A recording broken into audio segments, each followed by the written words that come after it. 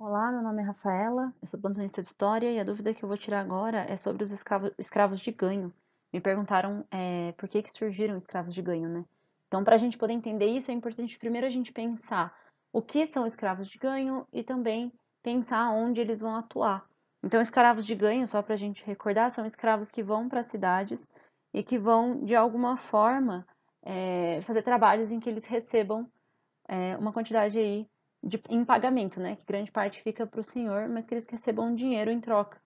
Então a gente tem é, escravos que servem tanto para tarefas como transporte de carga, transporte de pessoas, como a gente tem também é, os escravos que vão fazer, vão trabalhar em estabelecimento comercial, ou vão fabricar utensílios, ou mesmo vão vender alguma coisa que eles próprios produzem, como é o caso dos doces de tabuleiro das escravas. Então, eles tipicamente vão fazer o seu trabalho na, nas cidades, né, e não no campo. Então é importante pensar que o porquê surgiu justamente porque nas cidades o escravo ele não tem a terra, que é o que é tipicamente atribuído a ele como tarefa.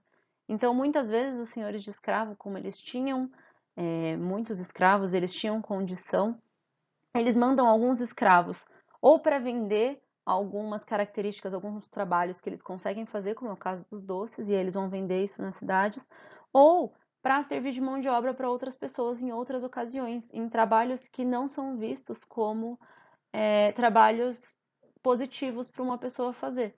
Então são trabalhos marginalizados que vão ser adaptados aí para vão ser adaptados não, perdão, que vão ser incorporados na função do escravo e aí em troca ele ganha um pagamento que fica grande parte para o senhor de escravo. Então, para o senhor de escravo é uma coisa positiva, porque ele está lucrando e ele está conseguindo usar esse escravo também nas cidades, não só nos campos.